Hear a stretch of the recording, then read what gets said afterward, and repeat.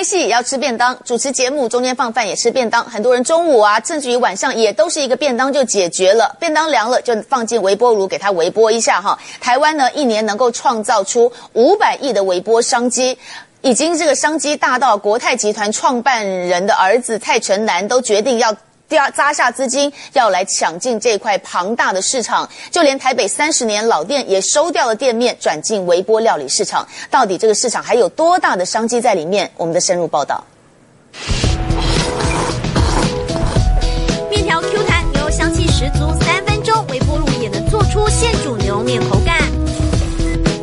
食品全台一年商机五百亿台币，庞大市场，就连他国泰集团创办人蔡万村之子蔡成南也砸下资金抢进微波美食市场。将来一般家庭，尤其是这个小家庭哈，呃，大家都很忙着在上班呢。我想这种加工食品，应该是变成会变成主要的一个在家里吃饭的一个一个一个主主要的产品。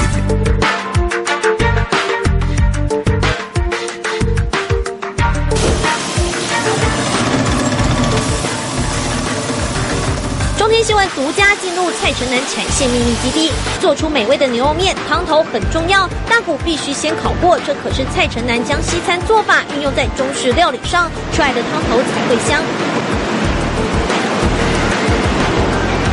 十斤牛就要用上六十斤的牛大骨，烤了一个小时后再炖上至少八小时。接下来牛筋牛腱也很讲究。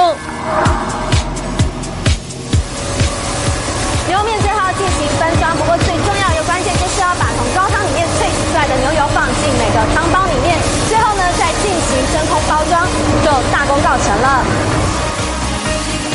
整碗牛肉面好吃的关键就是要加入这一汤匙的牛油，才能进入真空包装，还要洗个冷水澡，保持在二十五度左右，就连面条也不能马虎。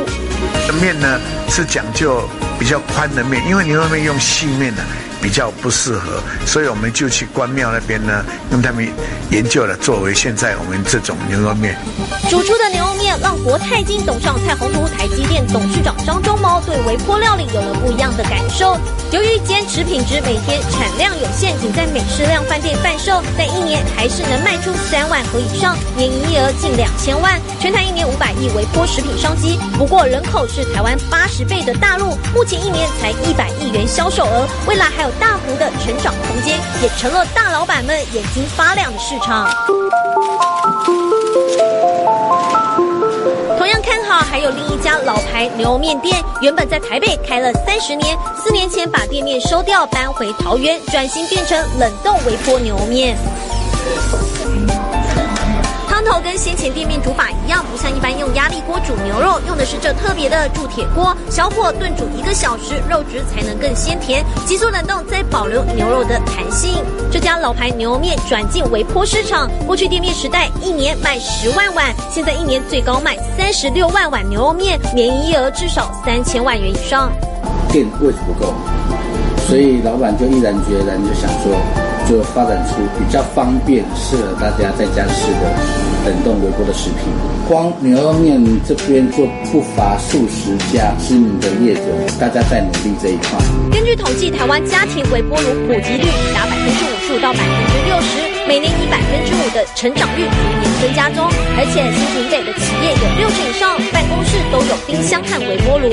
台湾人口结构改变，少子高龄化加上忙碌的生活，让微波食品业绩年成长率百分之八，不少餐饮业因此开始转型，让这块微波冷冻食品成了餐饮业的新市场。